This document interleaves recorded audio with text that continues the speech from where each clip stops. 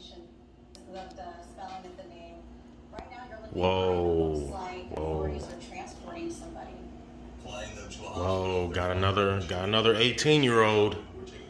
Another 18 year old. So they saying 14 kids and a teacher is dead.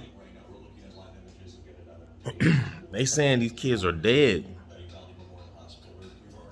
They've transported two two people, uh, one one a 10 year old here in San Antonio hospital. They saying 14 kids dead and they released the name of the of the, of the person, and it's an 18 year old. Wonder if he got a manifesto. I wonder if he got a manifesto. Man, hey, the fuck is your problem be?